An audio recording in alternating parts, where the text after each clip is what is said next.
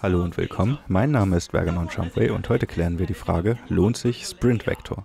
Sprint Vector ist ein Spiel entwickelt von Servius und ein Multiplayer Online Racing Spiel in VR und exklusiv für VR. Genauer gesagt für die Oculus Rift und HTC Vive. Hier in diesem Test die Oculus Rift in Verwendung und wie immer ist dieses Video nachvertont, denn in VR gleichzeitig ein bisschen kommentieren ist schwierig. So, was ist Sprint Vector denn nur eigentlich? Sprint Vector ist am besten beschreibbar als eine Mischung aus Mirror's Edge, Trickstyle, Jet Set Radio oder Hover. Alles so ein bisschen vermischt mit ein paar Mario Kart Elementen in einem Spiel als, wie schon gesagt, VR Racing Spiel. Und zwar ist es diesmal nicht ein Hoverboard oder irgendwelche Rollerblades oder ähnliches. Nein, wir sprinten durch die Level. Und wir sprinten nicht nur durch die Level, wir können auch klettern, wir können gleiten, wir können eine ganze Menge lustige Aktionen durchführen und wir können auch ein wenig schießen, um unsere Mitspieler aus dem Konzept zu bringen.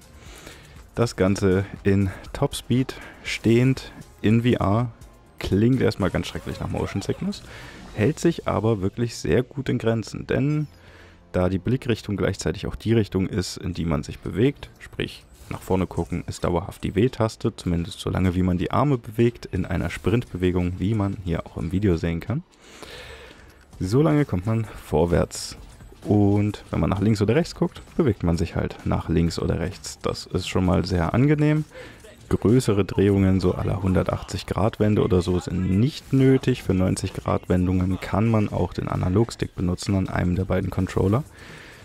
Ähm, erfordert ein bisschen Eingewöhnung, denn gerade das Kurvenkriegen ist in hoher Geschwindigkeit doch sehr seltsam und man kommt erstmal anfangs ein bisschen aus dem Gleichgewicht, ist aber sehr gut gelöst und eine hervorragende Methode, dass man das Spiel wirklich nur stehend spielen kann. Es gibt auch die Möglichkeit Room Scale oder halt zumindest stehend im ganzen Raum.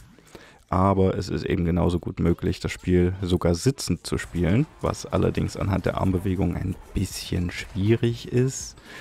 Ähm, am besten ist es stehend und wenn man nur frontal zu den Sensoren stehen kann, dann ist das immerhin schon mal eine ganz gute Lösung, denn so kann man sich durchs komplette Level navigieren, ohne allzu große Nachteile zu haben. Teilweise sogar Vorteile, wenn man dann doch eine schnelle Drehung machen muss, ist man da besser mit beraten, anstatt den Kopf vielleicht zu drehen, was ein klein wenig langsamer ist, denn die Drehung geht schon wirklich verdammt schnell.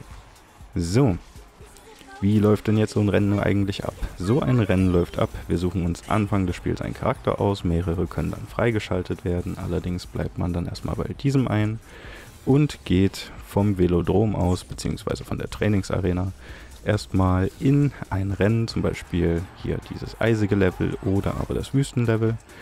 Und wir stehen an der Startlinie mit anderen Kontrahenten, die alle nicht so ganz freiwillig bei diesem Sport mitmachen, wie man durch die Kommentatoren erfährt. Und dann geht's auch schon los. Arme kräftig wedeln, dabei Tasten drücken und wir rennen in Topspeed durchs Level. Dabei gibt's einige Booster einzusammeln, Nitros zum Beispiel oder andere Power-Ups, wie zum Beispiel Raketen, die den Vordermann verfolgen und abschießen oder ein Energiefeld, das alle Gegner verlangsamt. Minen und andere wunderbare Gegenstände, mit denen man seine Gegner ein bisschen aus dem Konzept bringen kann. Allerdings schwierig zu verwenden. Zum einen, man weiß nicht wirklich, was man eingesammelt hat. Zwar ist es im UI sehr gut dargestellt, wenn man es in den Aufnahmen sieht, aber im Spiel selber konzentriert man sich so sehr auf die Strecke, dass man vom UI selber eigentlich nichts mitbekommt. Und die Sprecher sind in dem Fall doch ein klein wenig zu leise geraten. Generell ist die Abmischung sehr gut, dazu kommen wir gleich noch.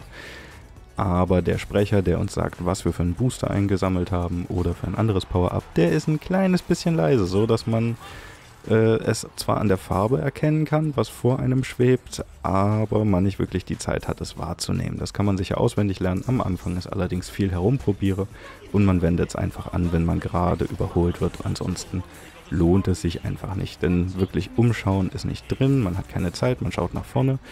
Man versucht irgendwie so schnell wie möglich zu sein, denn auch im Singleplayer schon sind die Charaktere, die NPCs, eine ganz schöne Herausforderung, vom Online-Spiel mal ganz zu schweigen, was da anscheinend für Sportler mit super Oberarmmuskeln sitzen müssen.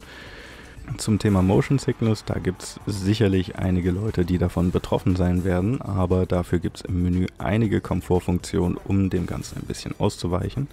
Im Großen und Ganzen ist mir, und ich bin relativ anfällig dafür, das allerdings nicht passiert. Man braucht einen ziemlich sicheren Stand, denn gerade wenn man viele Kurven fährt, dann schwankt man doch gerne mal nach links und nach rechts. Aber wenn man das hat, fühlt es sich tatsächlich an, als würde man durch die Level sprinten und vergisst dabei, wie bescheuert man eigentlich aussieht. Und oh ja, man sieht sehr bescheuert aus. Und damit ich euch nicht zeigen muss, wie bescheuert man aussieht, hat das der wunderbare Tutorial-Mann hier für euch erledigt. Hier ein ganz kleiner Ausschnitt davon. First, we'll show you the basic motion. Now, swing your arm downward. Awesome. Past your hip mid-swing. Try to reach the speed marked on the speedometer in front of you using your right hand. As you go faster, you'll start to see lightning form around your vision. To make it past these gaps, you'll need to be going pretty fast. Use the speedometer under this video to check your speed. Remember that your stride will be used all the time in Sprint Vector. By maintaining good form, you can go much faster for significantly less effort. And trust me, you'll need that extra energy to pull off all the sweet stunts you can see in this video. Wie man schon sieht, in den, wie in den meisten VR-Spielen, es fühlt sich verdammt gut an, aber man sieht unfassbar affig dabei aus.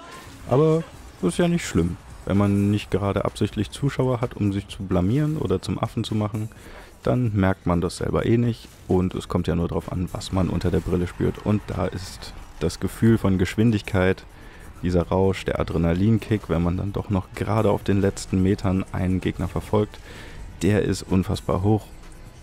Gerade auch, was man an beweglichen Hindernissen umgehen muss, da schnell zu reagieren und auch richtig zu reagieren, das erfordert sehr viel Feingefühl und Konzentration. Es ist einfach großartig. Zusätzlich kommt die Comic-Grafik, die sehr gut gewählt ist. Es fühlt sich nicht schlecht an. Es hat so ein bisschen was von einem Saturday Morning Cartoon.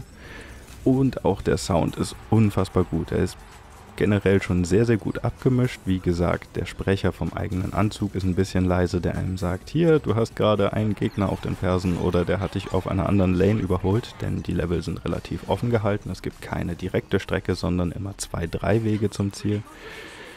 Der könnte noch ein Ticken lauter sein, ansonsten aber die Musik ist großartig, die Soundeffekte sind wuchtig, das Feedback ist auch sehr gut, bis auf eine Sache, und zwar die Landung nach dem Springen. Man braucht so ein bisschen was Feingefühl dafür, wie groß man tatsächlich im Raum ist, was an sich sehr gut funktioniert, da man sich ja vorher kalibriert, aber eben im Eifer des Gefechts muss man erstmal lernen, wann der Boden tatsächlich dicht genug ist, um weiter zu sprinten, um aus der Flugbewegung rauszukommen. Da könnte man vielleicht irgendwie noch ein bisschen nachhelfen, indem man mehr vom Charaktermodell zeigt oder ähnliches aber im Großen und Ganzen sehr schön, sehr gut gelungen und unfassbar, unfassbar spaßig.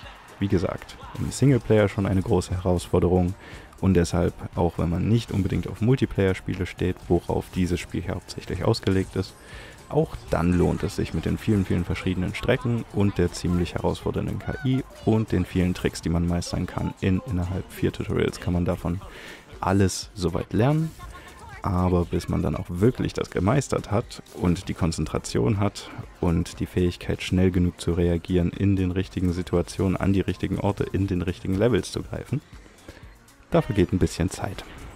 Und jetzt zum krönenden Abschluss noch extra dieses Mal ans Ende gesetzt, das Optionsmenü, denn obwohl sich das Spiel selbst auf die eigene Hardware einstellt und super funktioniert und gerade durch seinen Stil eben auch gut aussieht, egal in welchen Einstellungen, muss man sich hier nicht viel rumtreiben.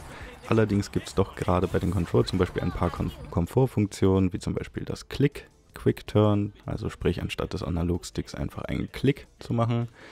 Grip Button Climb, also auch hier wieder eine andere Form des Kletterns. Das wird dann entsprechend im Tutorial natürlich auch anders erklärt. Wenn man das ausgeschaltet hat, ist die Erklärung ein bisschen anders, als wenn man es eingeschaltet hat. Das Enable Braking, sprich man hat die Möglichkeit zu bremsen, kann man an- oder abschalten eventuell nicht schlecht ist für manche Leute abzuschalten, denn gerade wenn man mitten im Spiel ist, drückt man die Fäuste doch sehr fest zusammen und kommt mit dem Mittelfinger versehentlich sehr leicht auf die Bremse. Und das Drifting, auch das ist an- oder abschaltbar, das macht die Controls ein bisschen flüssiger bzw. ein bisschen fester, je nachdem in welche Blickrichtung man guckt. Also hier nach eigenem Geschmack wählbar, was man machen möchte. So, Weiter geht's mit dem Gameplay. Hier lässt sich das Room Scaling an- oder abschalten. Das ist generell erstmal abgeschaltet, was sehr, sehr gut ist. Wie schon öfter erwähnt, ich habe einen sehr, sehr kleinen Raum mit einer Dachschräge. Hier funktioniert es stehend zu den Sensoren gewandt wunderbar, das Ganze zu spielen. Die Signbinders sind, wenn ich das jetzt richtig in Erinnerung habe, einfach die Geschwindigkeitsstreifen an der Seite des Bildschirms, wenn man auf Topspeed ist. Das ist eigentlich nicht sehr störend und fokussiert einen sogar ein wenig besser auf die Strecke vor einem. Der Komfortmodus ist ganz ähnlich, der einem so ein bisschen Scheuklappen anlegt und dadurch die Motion Sickness verringert, denn man sieht ein wenig weniger links und rechts und kann sich auch hier mehr auf die Mitte fokussieren. Sprich, es ist weniger Bewegung an den Rändern des Bildschirms und man kann ein wenig entspannter spielen, wenn man Probleme mit Motion Sickness hat. Vibration sollte unbedingt angeschaltet sein, denn das ist das Hauptfeedback während des Rennens, wann man springen sollte, wann man gerade im Flug ist lieber anlassen. Das Player hat kann man genauso anlassen, ist allerdings äh, nicht so wirklich notwendig. Man könnte es eigentlich auch ausschalten, selbst wenn es angeschaltet ist. Es ist sehr bunt, es ist farbenfroh, aber während des Rennens kriegt man davon einfach herzlich wenig mit. Dasselbe geht für das Speedometer übrigens auch. Bei den Grafikeinstellungen kann man selbst relativ wenig machen. Es gibt einen Resolution Multiplier, sprich wie viel Upscaling betrieben wird, beziehungsweise Downscaling, um die Performance ein bisschen zu steigern. Man kann Anti-Aliasing hinzu oder eben abschalten und Charakterschatten an oder aus und die View Distance ein bisschen beeinflussen, aber nichts, nichts Großes, keine speziellen Optionen, nicht so berauschend wie beispielsweise in Serious Sam 3. Alles ein bisschen kleiner gehalten, aber da sich alles an das System anpasst, auch hier wie gesagt eigentlich kein großes Problem. Trotzdem, mehr ist immer schön, aber es ist ein VR-Game. Ich denke, das kann man verzeihen an dieser Stelle. Bleibt eigentlich nur noch das Audio übrig. Und zum Audio kann man nur sagen, Wunderbärchen. Ich zähle 1, 2, 3, 4, 5, 6 verschiedene Slider. Den Master Slider, dann einen für die Kommentatoren, einen für die einzelnen Charaktere, für die Musik, für die Soundeffekte und für den Voice Chat, den man nicht hören will und wo man auch den eigenen Voice Chat erstmal abschalten möchte. Also ein Traum zum eigenen Abmischen, aber einfach alles auf 100 lassen, bis auf den Voice Chat und man ist großteils schon glücklich und man will ja auch was von der guten Musik haben. Die hört ihr jetzt noch auf dem Endscreen. Das war's für dieses Video. Mein Name ist Vergonon Shumway. Bis zum nächsten Mal.